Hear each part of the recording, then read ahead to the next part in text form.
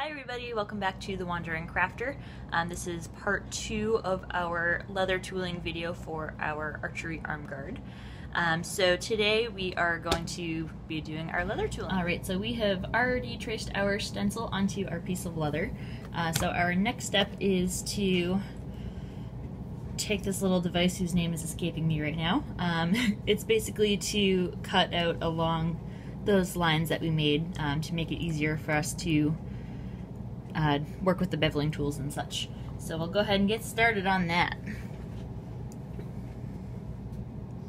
So I'm just gonna go right along all these lines that I traced.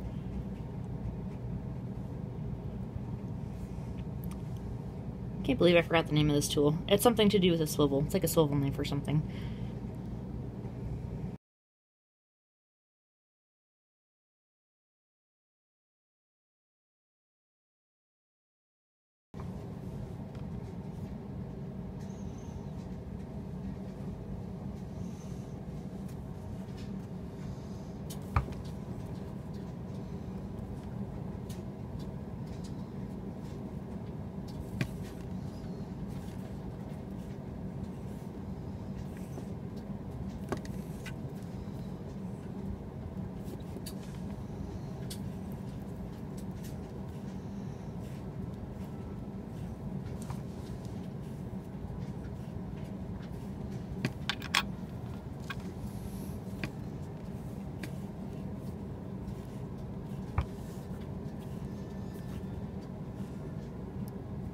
Alright, so I have finished cutting around all of the part that I traced out. You can see it's a lot more visible now, so I'm just going to dampen it down again so it's easy to work with.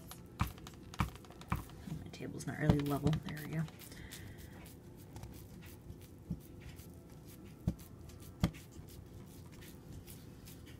There we go. So now I'm going to use um, see. First we're going to use this uh, little bevel. Um, so basically that's going to angle up our lines that we traced um, to give it kind of a raised effect. And then after that I'm going to go around with this little guy and I'm going to stamp down those edges um, again just to give it more of a raised effect.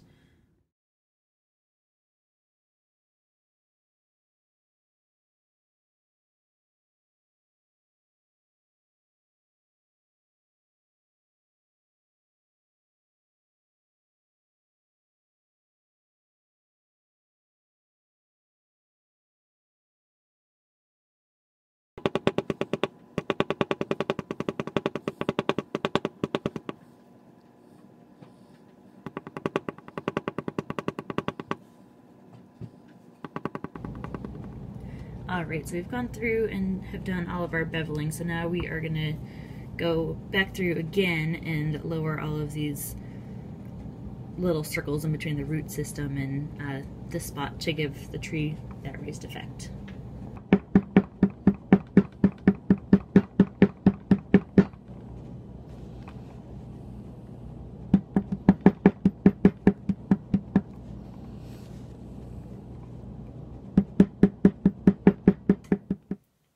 Howard's being so helpful this morning. So we'll come back over here and I have finished our leather tooling. So our next step is to punch some holes along the sides to put in the rivets so we can do our lacing to uh, give it its shape. And I haven't yet decided if I want to stain this or not, but we can just take a peek at the work we've done here. And stay tuned for part three of this video series.